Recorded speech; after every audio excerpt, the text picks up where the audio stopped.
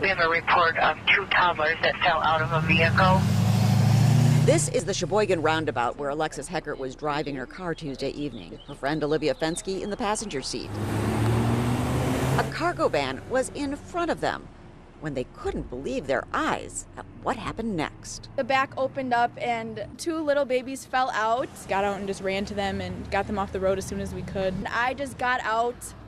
I picked one of the babies up. He was completely naked.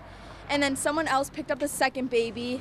You would think the van driver would have noticed. And the van just kept on going so fast, like the van didn't stop. Sheboygan police soon found the driver. Made contact at the home and ended up arresting the father uh, for child neglect and also a fifth offense operating motor vehicle while impaired.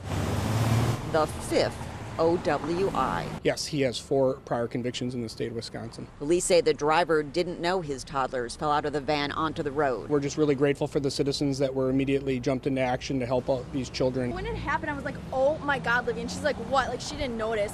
And if I would not have stopped within like five seconds, I would have hit them because like it was that close to us. The girls handed the child to paramedics, but drove to the hospital. We did not want to let go. Police say one child is still hospitalized with a skull fracture. The other child is being cared for by a relative while the investigation continues. He kept saying, Daddy, Daddy, Daddy. So, yeah, it was so sad. I was just shaking and it was so sad. I can't get the image out of my head.